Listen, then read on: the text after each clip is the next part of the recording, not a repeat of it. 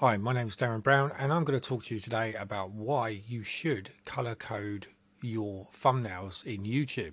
Now, if you think about it, we're almost conditioned in this world of color. So, if for instance, green is to go, amber is to wait or to be cautious, red is to stop or is danger.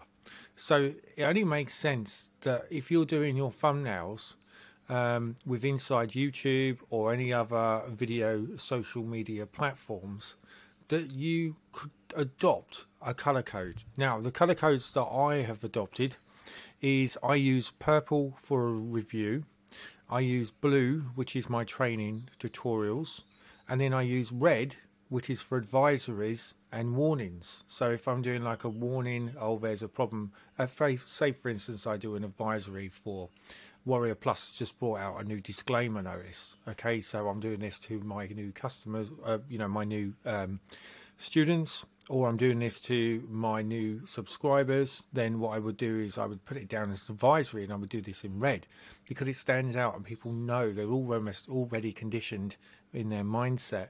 Oh, this is going to be a warning. This is going to be something that, that I need to look at. Okay, and then the webinars I do is green and this is just something which I adopt because branding is everything all right for you to be successful on side inside a video you need to make sure that you uh, create a brand so people know who you are they also know what you're putting out there when you're putting out there and you can code it you can very cleverly code it by using different color thumbnails which will code your actual traffic into knowing what you're going to be putting up next very very quickly.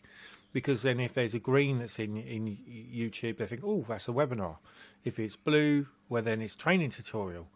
Uh, and then also you can include these into your products okay? So when you've created your own product yourself and all your thumbnails are in blue then it's easy for you to actually add this into your product without it um, having any clash with any other products that you've done because you've created all your tutorials in blue. So when people go to uh, your own product, they're going to see the thumbnail which is blue. All right, so it doesn't matter what the product is, they're going to know that. And then the webinar is going to be green. And then the review, if you've got a review which you've put inside one of the sales pages or an upsell, or you've put it as a bonus, you know, or, or you've given some free information like a, a e-learning, or you've done a tutorial, and then you have a link below saying, "Oh, hi, yeah, untapped traffic is really good," which it is. Okay, it's um, it's been very very successful with that.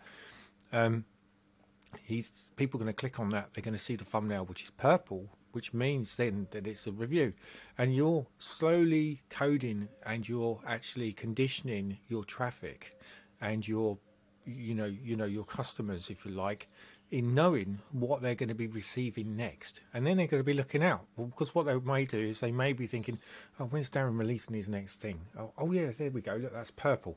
So i know that's a review. Oh, oh this is a new tutorial that's blue you know that's that's how it works. So this was just a very quick video on why you should consider color coding your videos okay? And again it's not just for youtube. There are other alternative video social media platforms out there and it doesn't hurt to do exactly the same formula for that okay? Because all you got to do is make sure that if you ever post up a video you don't use the same video from youtube right it's very important to do this uh, always make sure you use your master copy because then it's um, going to be unique and then when it goes online uh, Google won't see it as a threat, if you like. I know it sounds funny, but it won't see it as you know because it sees it as a, as a completely different video. Um, so that's it, guys and ladies and gentlemen. Until my next video. Cheers.